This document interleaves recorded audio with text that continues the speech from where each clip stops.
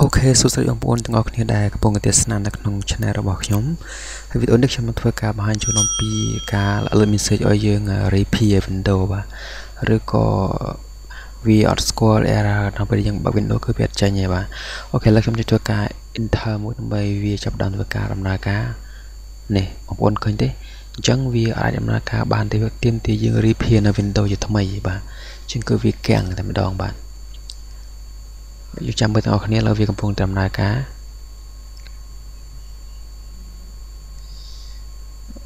គេគឺវានៅតែចេញ message បែបនឹងរហូតបាទអញ្ចឹងខ្ញុំនឹងធ្វើការបិទនៅប៊ូតុង power ឲ្យបងប្អូនមើលតែម្ដង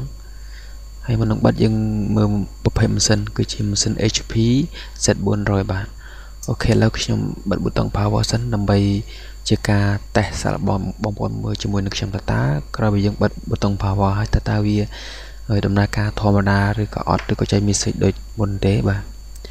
អូខេឥឡូវខ្ញុំធ្វើការបើកវិញបន្ទាប់ពីបើកហើយខ្ញុំនឹងបង្ហាញនៅលើ monitor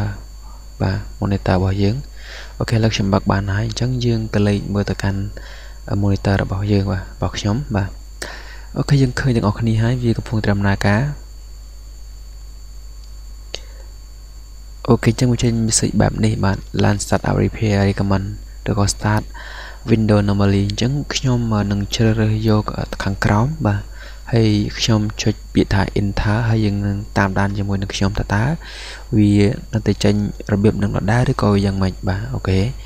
គាំងបាទឃើញទេ ចាប់ដើម error គឺយើងអាចបន្ត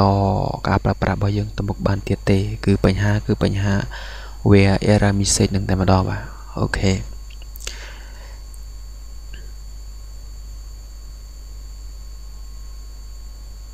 បាទវានៅតែចេញអញ្ចឹងដដែលបាទអញ្ចឹងខ្ញុំនឹងធ្វើការបង្ហាញជូនបងប្អូនតែម្ដងដើម្បីកុំឲ្យខាតពេលយូរបាទអញ្ចឹងចំណុចបន្ទាប់អឺយើងនឹងធ្វើការចុចនៅ keyboard បងប្អូន move មក keyboard របស់យើងមកឃើញទេអញ្ចឹងខ្ញុំនឹងធ្វើការចុច alt ណាជាមួយនេះបុក alt បូកជាមួយ control បូកជាមួយ delete មកដើម្បីបិទវាណាខ្ញុំចុច alt control delete បាទអញ្ចឹងមកហើយយើងមើលនៅលើ monitor របស់យើងអត់វាលុតឃើញទេបន្ទាប់ទៀតយើងចុច F10 បាទដើម្បីឲ្យវាបង្ហាញនៅផ្ទាំង window បាទឬក៏ប៊ូតុងគេហៅថា start up window ឬក៏ BIOS របស់ window ហ្នឹងបាទ khi យើង press F10 ហើយយើងមើលកាន់ monitor របស់យើងគឺវាចេញទម្រង់បែបនេះបាទអូខេ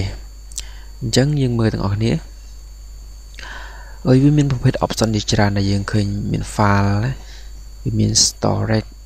វាមាន security វាមាន power advance ចឹងទៅបាទហើយនេះគឺជាប្រភេទម៉ាស៊ីនរបស់ខ្ញុំបាទនេះ HP Z4 បាទនេះហើយប្រភេទទំហំ RAM បាទទំហំម៉ាស៊ីនផ្សេងផ្សេងម៉ងអីគឺវានៅក្នុងនឹងទាំងអស់បាទនេះគឺជា Intel Xeon ចឹងទៅណាវាលំអិតនៅលើក្នុងនឹងទាំងអស់ system information របស់វាបាទអូខេអញ្ចឹងយើងទៅមកចំណុចទៀតទាក់ទងនឹង storage បាទ storage security មាន power វាមាន advanced អីហោតែអ្វីដែលខ្ញុំនឹងបង្ហាញជូនគឺយើងចូលទៅកាន់ពាក្យថា storage ហើយយើងយកពាក្យថា storage option បាទ នេះអញ្ចឹង enter មួយមកបាទយើងព្រី enter មួយដើម្បីធ្វើការបង្ហាញជូនបាទអូខេអញ្ចឹងខ្ញុំមើលទៅលើវិញដើម្បីយក storage option បាទ enter បាទអញ្ចឹងយើងឃើញមាន function 3ណាមាន remove media pool វាមាន legacy ticket drive មាន SATA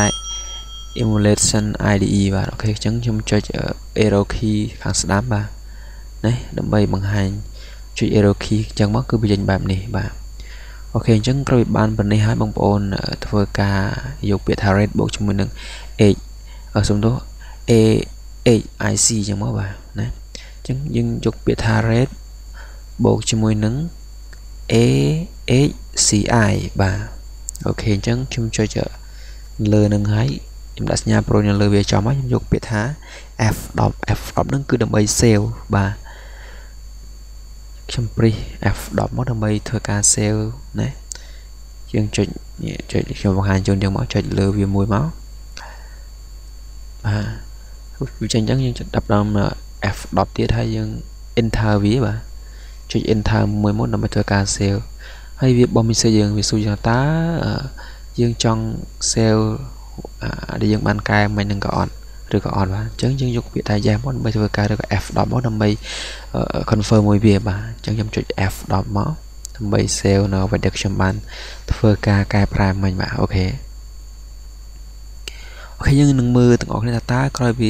ខ្ញុំធ្វើការផ្លាស់ប្ដូរប៉ុណ្នេះថាតើវាចេញទម្រង់ដូចមុនឬក៏វាផ្លាស់ប្ដូរបាទ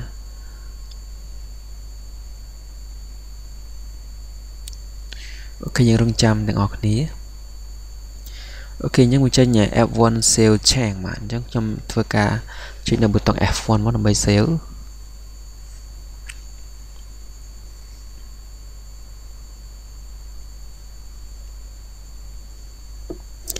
OK យើងចាំមើលទាំងអស់គ្នាបាទតើវាចេញបែបម៉េចទៀតបាទ OK ឥឡូវវាចេញទម្រង់បែបនេះហើយខ្ញុំចាប់ដើមធ្វើការយកនៅពាក្យថា start up window normally បាទតើវានឹងមាន apply ដែរឬក៏អត់ OK ខ្ញុំចុច enter មួយមកបាទ OK ចុច enter មួយយើងមើលទាំងអស់គ្នា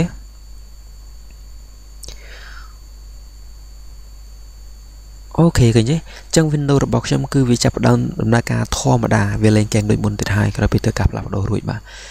អូខេ welcome yes OK ឥឡូវវាដំណើរការរបស់ធម្មតាហើយណាអញ្ចឹង Windows របស់ខ្ញុំគឺយើងអាចប្រើការបានដូចធម្មតាវិញហើយណា OK អញ្ចឹងខ្ញុំចាប់ផ្ដើមធ្វើការបង្ហាញបើកចូលទៅកាន់ drive តើតើវាដំណើរការដូចអ្វីដែលខ្ញុំបានបង្ហាញជូនមិនឬក៏អត់បាទខ្ញុំបើកកុំព្យូទ័រមួយមកដើម្បីបង្ហាញត្រាយបាទនេះឃើញទេអញ្ចឹងគឺខ្ញុំមានត្រាយធម្មតាដោយសារខ្ញុំមានតែត្រាយ C មួយអញ្ចឹងវាបង្ហាញតែមួយទេណា អូខេអញ្ចឹងដើម្បីឲ្យអស់សង្ស័យខ្ញុំនឹងធ្វើការ restart មួយជាតែម្ដងបាទ restart តែក្រោយពី restart ហើយវាដំណើរការដូចមុនឬក៏អត់បាទអូខេឥឡូវខ្ញុំចាប់ដើមធ្វើការចុចនៅប៊ូតុង restart មកដើម្បីបង្ហាញជូនបងប្អូនឲ្យកាន់តែច្បាស់បាទ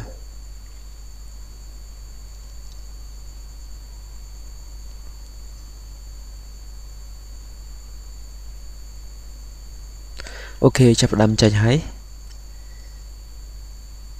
ខេយើងរងចាំទាំងអស់គ្នា